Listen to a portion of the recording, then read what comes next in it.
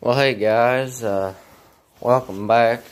Um, it's been a little while, but we got us an got us a new toy here.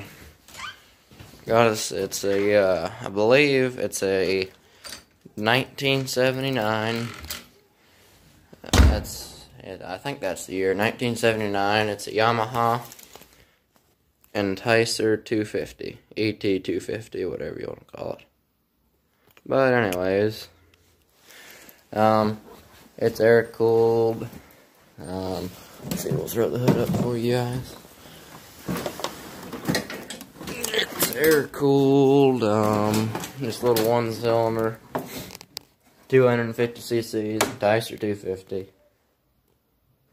Um, uh, yeah, I'm not running an air filter on it right now because it, it, uh, I gotta do something with the carburetor on it, but anyway, yeah, it's got oil injection, um, and then, yeah, it just runs on choke, because I gotta mess with the carburetor to get it going, but it's got a, uh, pretty good track on it, I mean, it could be a little better, but, but anyway, yeah, it's got a little tear in the seat, but other than that, I mean, it, it goes pretty good, you gotta give a little ether when she's cold starting, but other than that, I mean, it starts and goes pretty good. So, um, but I guess, uh, we'll, we'll pick you guys back up here once we get her going and outside, so.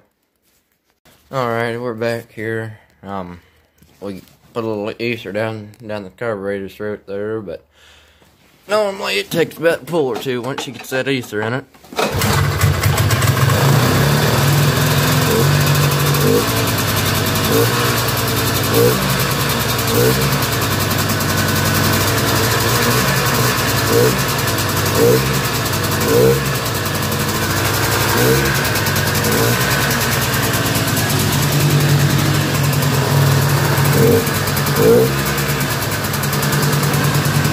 Yeah, the brake light, she works on it. The, uh, the headlight,